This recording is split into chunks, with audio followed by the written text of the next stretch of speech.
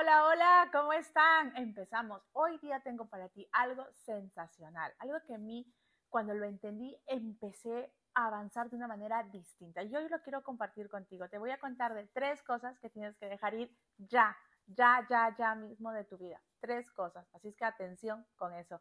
Para ti que estás viendo el vídeo, acuérdate de suscribirte al canal, dale a la campanita de notificaciones. Mi nombre es Carla Ramírez Rey y estoy feliz de compartir contigo este espacio para que hablemos de temas de crecimiento personal, de temas que nos ayudan a crecer. Te cuento un poco de todo este viaje que he hecho en la vida, recabando información, estudiando y de donde yo de una u otra manera empecé a transformar mi vida y hoy la quiero compartir contigo. Así es que hoy te voy a compartir tres cosas que tienes que dejar ir ya de tu vida, pero ya de tu vida si quieres que las cosas empiecen a cambiar. ¿Estás listo?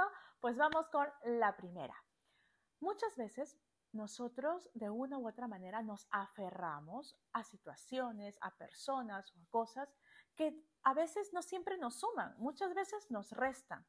Algunas veces no las identificamos, otras sí, y cuando las identificamos decimos, ¿por qué no hacemos nada? Hoy te voy a dar tres de las cuales tienes que estar muy alerta si te están pasando a ti para que las dejes ir si realmente quieres llegar a otro nivel. La primera, tener expectativas realistas.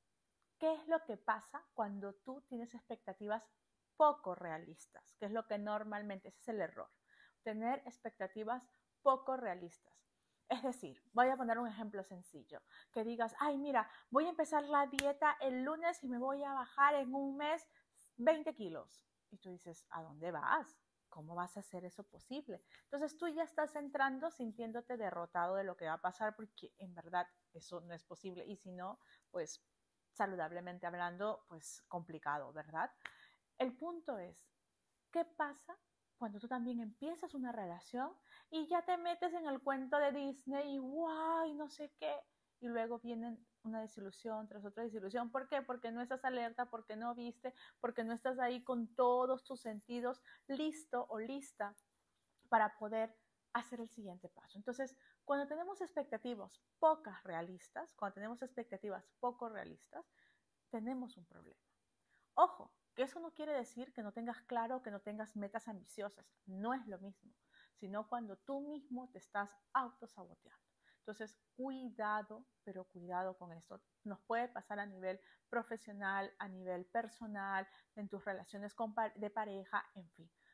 Mucha atención. Ojo, para los chicos que si tú estás en el cole y estás viendo este video, es como decir, ay, no hay problema, el viernes no estudio, el sábado no estudio y el domingo antes de dormir repaso todo para el examen que tengo el lunes y sé que lo voy a hacer. Una vez más, un ejemplo de expectativas poco realistas. ¿Vale? Porque eso no va a pasar. Lo más probable es que te acuestes angustiado porque no sabes para el examen y guau, una nota mala tras otra porque simplemente te metiste una idea en la cabeza que no tenía un sustento, ¿vale? Así es que eso sácalo ya, ya, ya mismo de tu vida si quieres cambiarla. Mira, todos hemos estado en algún momento haciendo esto, pero ya te digo, cuando tú lo identificas y lo sacas, realmente las cosas cambian de una manera impresionante. ¿Estás listo? Vamos con el paso número dos. La segunda cosa, y es deja ir el orgullo. ¡Ay, cómo pega esto! Yo recuerdo que en algún momento de mi vida era así, como muy orgullosa. Y, y eso a veces hacía que yo me pierda muchas oportunidades, hasta cuando ya comencé a entender esta información, los temas de crecimiento personal y cómo se venían las cosas. Y ahí recién comencé a abrir mi mente, abrir mis oportunidades y es cuando las cosas comenzaron a cambiar. A veces hay personas que tienen resentimientos, hay personas que simplemente dicen yo no quiero compartir con esta persona, cero tolerancia. Y a veces hay muchas historias de vida, ¿vale? Hay muchas historias de vida. Si tú tienes una historia de vida que quieras compartir, escríbemela en los comentarios. Y entonces, ¿qué es lo que pasa? A veces por orgullo perdemos oportunidades, a veces por orgullo perdemos la oportunidad de tal vez de contentarnos con alguien, de decirle a alguien te quiero, de poder pasar tiempo con otras personas. Y esto a la única persona que le hace daño es a ti misma. Porque, por ejemplo, tú puedes estar súper molesto con alguien y decir, no la quiero ni ver a ella ni a él.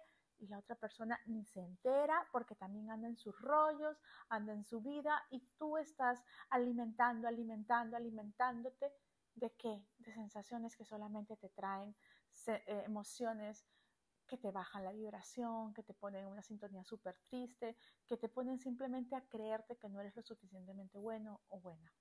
Y eso no suma. Así es que atención con eso, deja el orgullo de lado, a un costadito, déjalo pasar.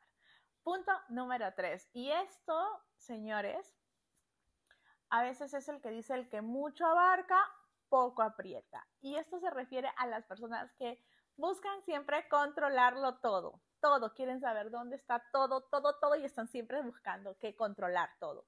Cuando tú estás ahí buscando que controlar todo, lo más probable es que cosas se te escapen, porque tú no aprendes a delegar, no aprendes a confiar en los equipos de trabajo, no, no, confías ni siquiera en tu propia capacidad de decidir que sí y que no. Cuando estamos en esa sensación de controlar todo y estás ah, llenándote, llenando responsabilidades, llega un punto en el cual ya no das más. Te paralizas, te sientes súper cansado, súper cansada y si tú estás en algún trabajo tradicional, pues llegas a una saturación. Y si eres emprendedor y estás trabajando por tu cuenta y queriéndolo hacer todo, lo más probable es que el éxito se te sea esquivo, porque no vas a tener la fuerza suficiente para hacer las cosas. Así es que muchísima atención con eso porque tienes que ponerte en esa sintonía de no querer controlarlo todo. Acuérdate, delegar no es malo, es bueno, más bien a ti te da la posibilidad de confiar en tus habilidades y confiar en la capacidad de las personas que están alrededor tuyo para que puedas hacer las cosas. ¿Vale? Esto es mega importante. Aquí te dejé tres tips, tres tips súper buenos me los habían pedido por interna. Gracias a las personas que me escriben por redes sociales. Tú también me puedes escribir ahí de qué te gustaría que te mande el vídeo y te lo hago con mucho amor. Así es que ya sabes, mucho amor para ti. Acuérdate que eres un ser de luz, un ser de amor. Que tengas un gran día. Mucho amor para ti. Un beso y nos vemos en el siguiente vídeo. No te olvides de suscribirte al canal y de darle a la campanita de notificaciones. Chao, chao.